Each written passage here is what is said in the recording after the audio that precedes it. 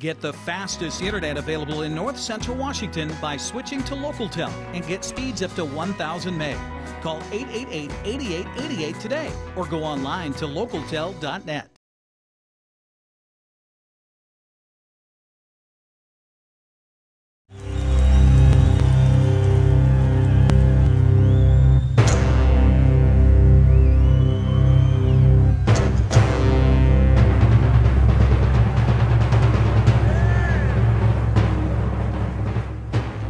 This is State Representative Cary Condotta. Welcome to the 12th District.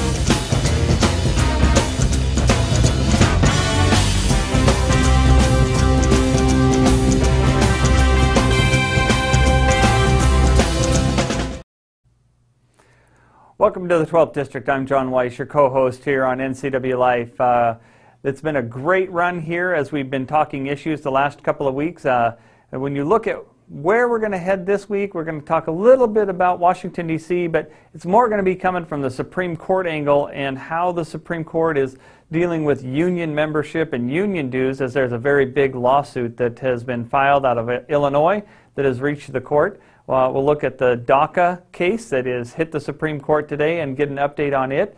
And then we're also going to then turn to Olympia and look in a little bit more detail about some very key votes that happened this week.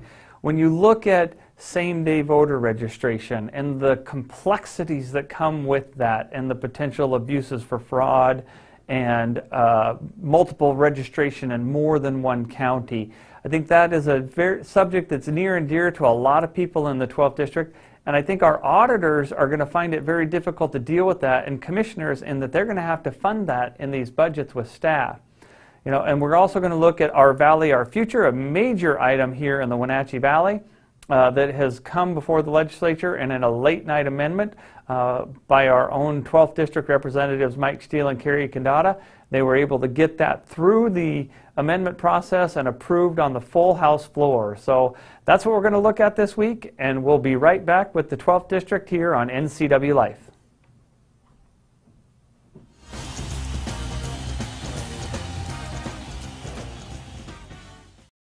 For all the latest news in North Central Washington, go to ncwlife.com or find us on Facebook. Got a news tip? Email us at news at ncwlife.com or call 888 2020.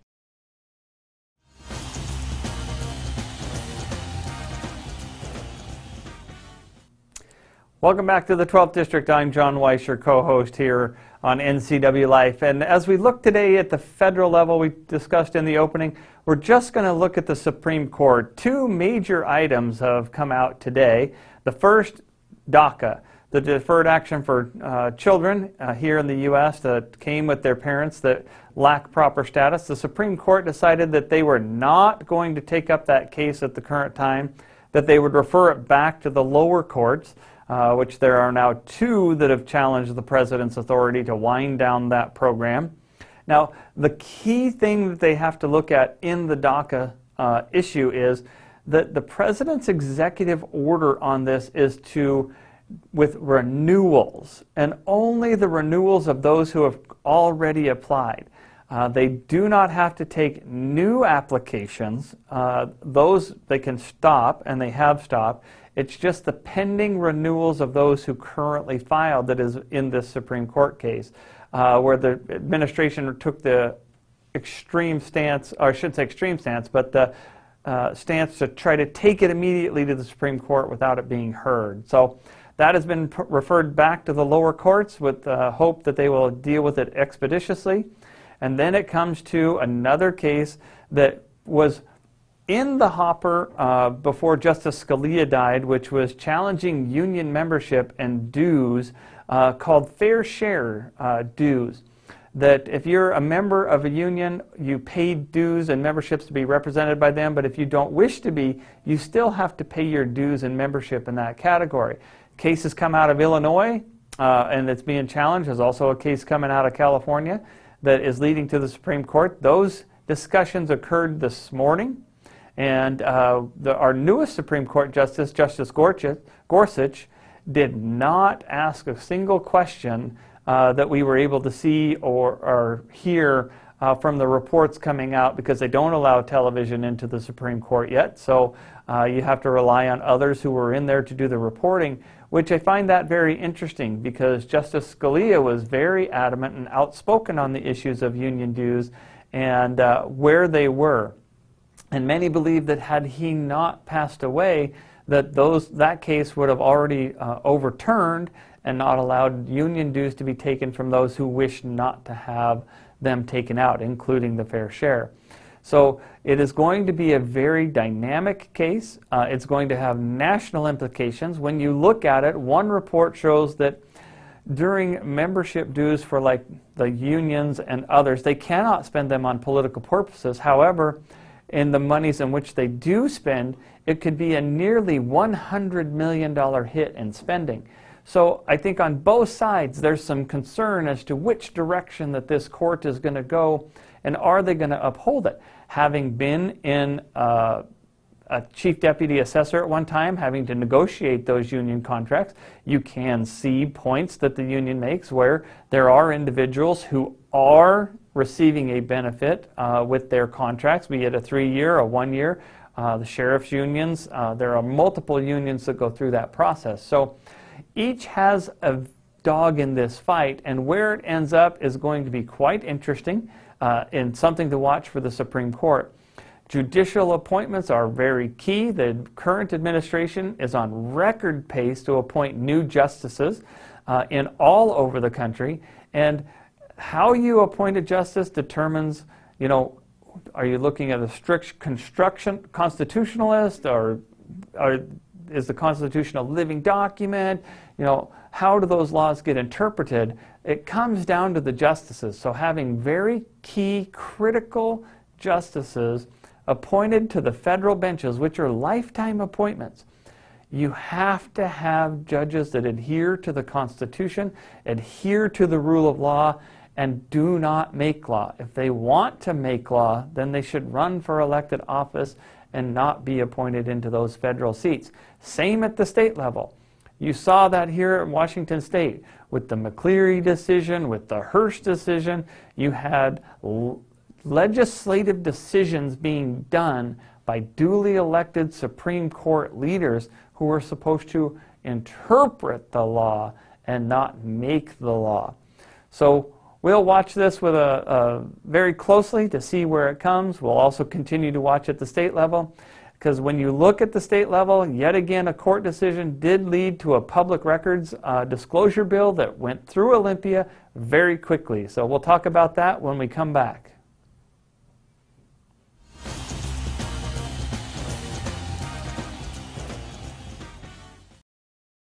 Are you wanting high speed internet but don't have access to PUD fiber? Try SkyFi high speed wireless internet from LocalTel. Call 888 8888 today.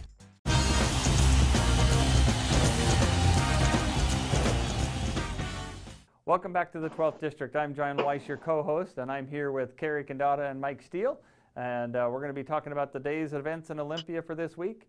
And a lot of floor action has happened in the last week. So Cary, Mike, uh, why don't you start us off with a great news that we received in a budget proviso for Our Valley, Our Future uh, that just came through the House and is now headed to the Senate. So walk, walk us through that.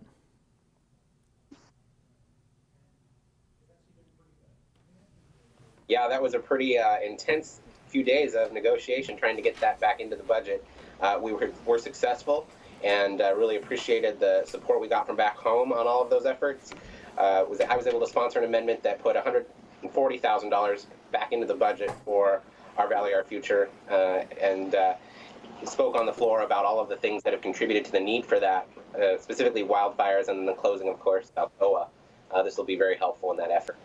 What's significant about that program is even the governor's office and the Department of Commerce have taken a look at it and they think it's a model for other communities to use in this situation. And so that's why the state's even involved. It was actually uh, suggested by the Department of Commerce that we make this a model program. So I congratulate all the folks back home that put this together and on their uh, successful operation and hopefully their continued success as we move forward. Now, if I remember right, the uh, original request was for $240,000, and uh, we've got about 100,000 uh, or so in there now. Are you expecting that number to change a little bit? Do you expect the negotiations where we can fully fund that project?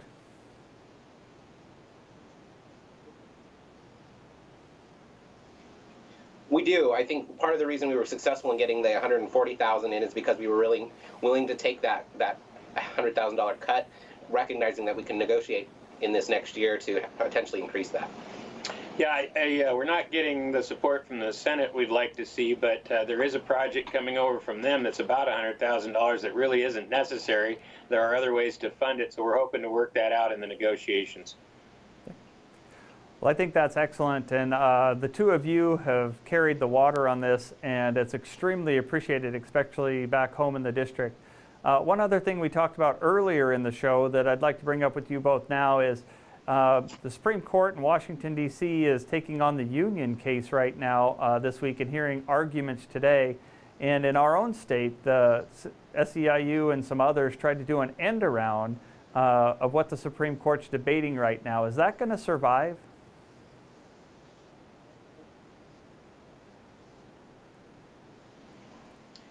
Sure find out. There's three union bills here that uh, all try to circumvent that process in one form or another. Um, a couple of these bills I've actually seen before. Uh, they've been around a long time. They've never passed. Uh, we'll see. There's an awful lot of bills that are kind of in that realm um, that are just hanging by a thread, and I'm just not sure whether the Senate will get them out or the House will finish it. Um, Mike? Yeah, I concur. I think that there's uh, really no way to see whether or not those bills will survive. I think um, it, it's anybody's guess at this point. I think a lot of folks are just sort of sitting back and waiting to see what that decision looks like. I think what's great is the press has actually picked up on it and has made it quite clear. Uh, most of the newspapers have come out and said this is a blatant end around. It is obviously all union, and it actually has some negative impacts on individual providers. Most of the individual providers we have had here are testifying against the bill uh, because of what it would do to them. So uh, it forces them to pay union dues no matter what, and a lot of them just take care of their own kids or their own family and don't want to pay union dues. So um, we'll see. Uh, hopefully, the Supreme Court straightens this all out, and hopefully, we won't be trying to do an end around. Well, one other thing that uh, we've been tracking and monitoring with all of you uh, through the entire session is you look behind me, you can see the uh, beautiful mountains of, of Wenatchee, outside of Wenatchee, is the tourism bill. And uh, we're one of the very few states that doesn't have a tourism tax, and uh, or not tax, I should say, but a tourism budget to promote. And you two have been the drivers of that as well. So, uh, what is the next step in the tourism bill?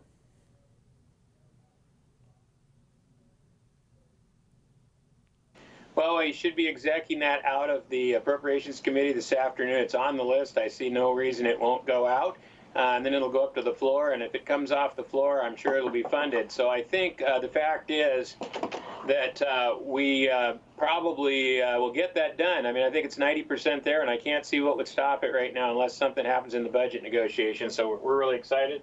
Absolutely, you know, and I've been speaking. We've actually had a lot of movement on it, as Representative Condotta mentioned, but been speaking too with a lot of media around the state. There is a major interest out there to see this thing move, uh, and and as someone who works in the industry, I know the value of what promotion does and how much it means to our communities in the 12th legislative district.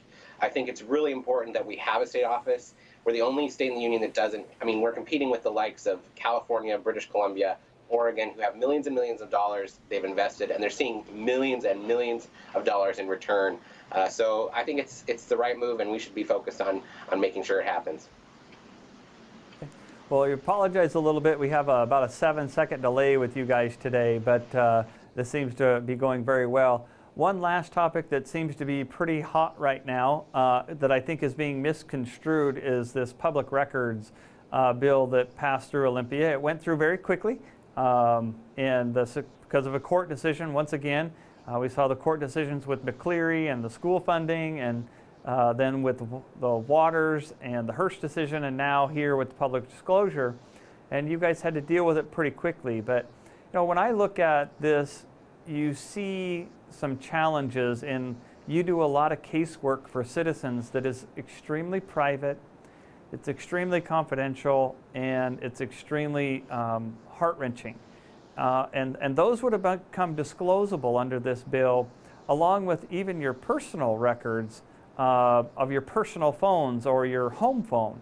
And, and, that's where it starts to get dicey. So I, I think you guys made a good choice, but when that went through Olympia, how did you both feel about that?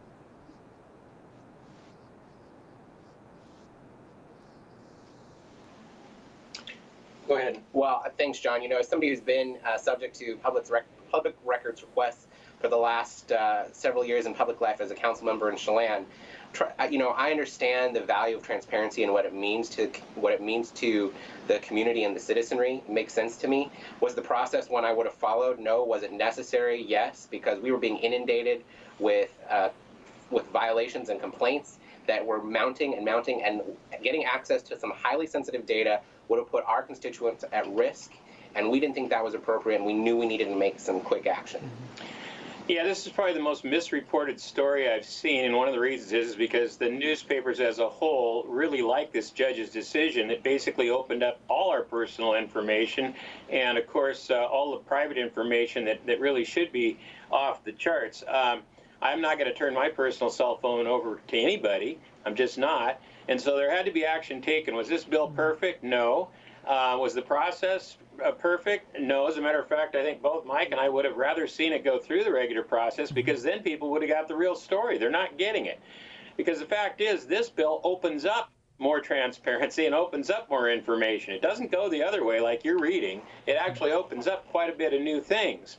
And the reason is we could have easily gone back to the status quo uh, but this uh, it was decided that if we're going to fix this, we should start to go down the path of more trans, uh, more uh, availability of this information, and that's exactly what happened. But is it done? No, I think there'll be more uh, additional legislation to continue the process. But something had to be done, as Mike said. We could not spend 20 or 30 hours a week of our time just digging through all these private memos and our private phones and all the things they ask us to do. It was just completely off the handle. Plus, this judge found us to be independent state agencies. Now, that alone has implications way beyond uh, just disclosure.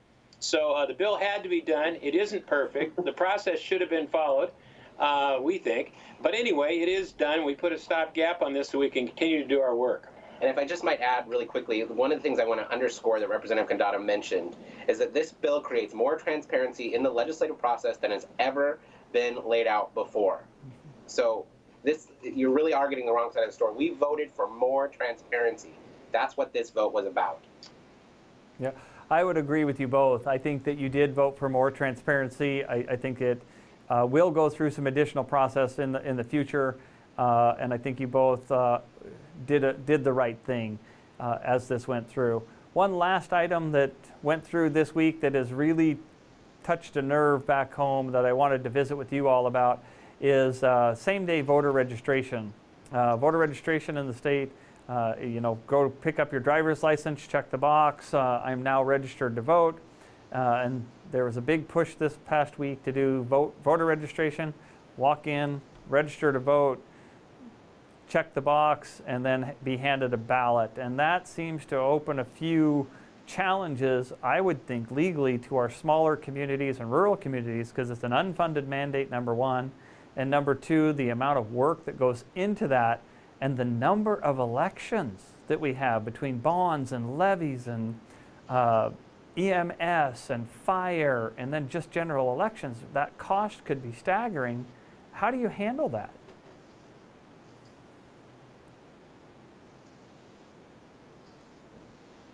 Well, first of all, you don't pass something like that. I think that's the first place to start. Uh, but secondly, you know, there, this is really a problem. I mean, when you talk about same-day voter registration, you're talking about people being able to, to, to potentially register on the same day in multiple counties, in multiple jurisdictions, and there's no way to prove that up. To your point about resource, how do we make sure that these folks are are able and and legally able to vote? Are they are they citizens? And you know, we got a lot of pushback when we started talking about making citizenship a, a component of your license. You know, if you're going to vote on the same day, you might be willing, you might have to be willing to share your citizenship on your license as well. John, we've seen a series of bills over the years we've been here that continue to try to move this way to same day registration, to more ballot boxes, all the things that are supposed to increase voter participation. And you know what we've seen?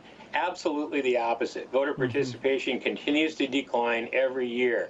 This isn't about increasing voter mm-hmm. uh, interest at all. Uh, you know exactly what this is about. It opens a huge door for fraud. It opens a huge door for last-minute campaigning. Um, there's just a lot of problems here. And as Mike said, a person could easily register in multiple areas, uh, and no one would know because by the time you check it, it's too late. So it just, uh, if you can't register, uh, you know, two weeks before the election, um, maybe you shouldn't be voting. I mean, that's just really silly that you can't take the time to do that. I could see even seven days maybe, but uh, no way same day. Yep. Well, I agree with you both. And uh, when since we're about out of time today, I want to end yep. with this morning I was well, on a conference call, uh, and the two of you came up, and you were described as the duo. If you get together in Olympia, nobody will stop the two of you uh, when it comes to legislation and in fighting for the 12th district.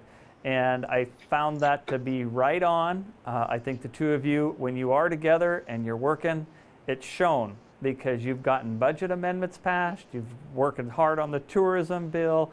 You just look at the success that the two of you have had in the House. And the House, uh, and you're in the minority, you have both done an outstanding job. You have both represented the district very well and the district should be very pleased with the representation they're getting out of the House. So I leave you with that, and after these messages, we'll be right back.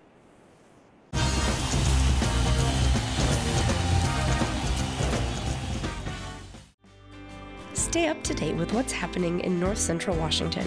Go to the NCW Life Community Calendar at ncwlife.com.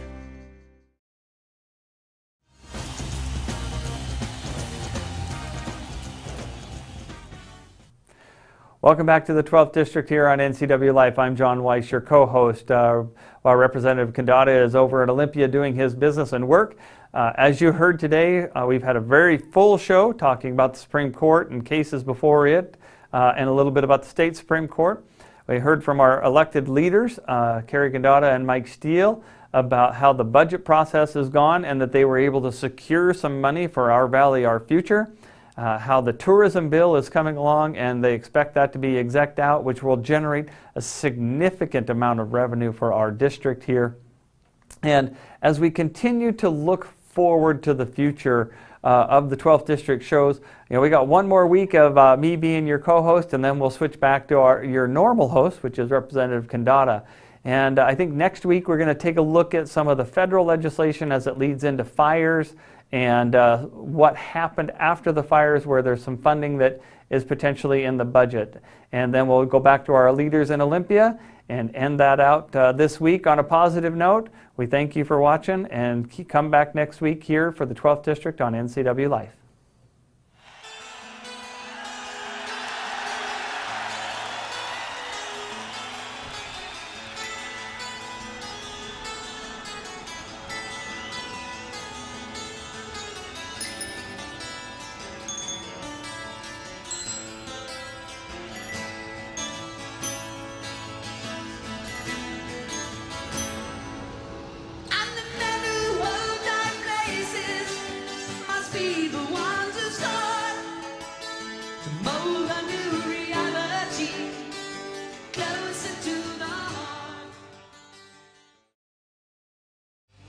Please join us weekly for the 12th District with yours truly, Cary Condotta. Check your channel guide for times or go to ncwlife.com for details.